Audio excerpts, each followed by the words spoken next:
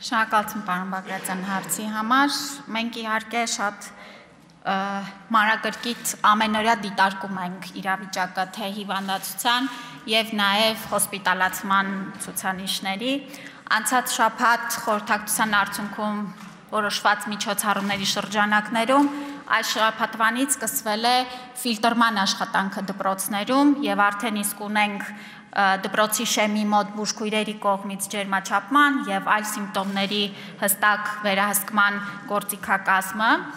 Պետք է ասեմ, որ բացակայությունների մասով մենք մնում ենք դեռ մինչև 2%-ի շեմի մեջ, որը որ այս սեզոնի համար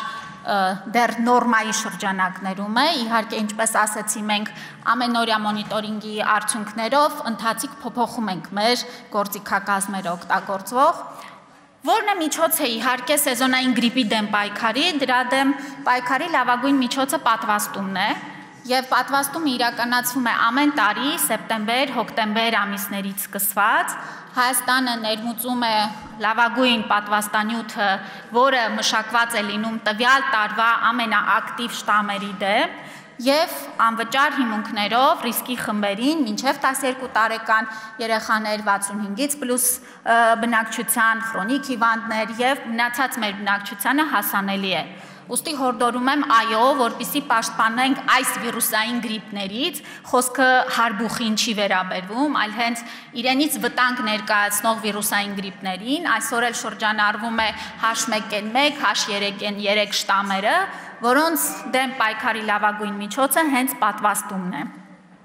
Հոսպիտալացման ցուցանիշների մասով պետք է ասեմ, որ նախորդ տարվա նույն ժամանակահատվածի համար շատ փոքր է տարբերությունը, աճի միտումը եւս դեռ փոքր է, բայց կա, բայց շփհատական մոնիտորինգի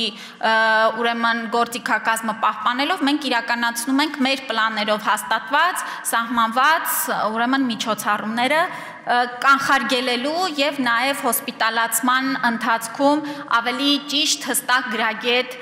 տրիաժավորում իրականացնելու, որ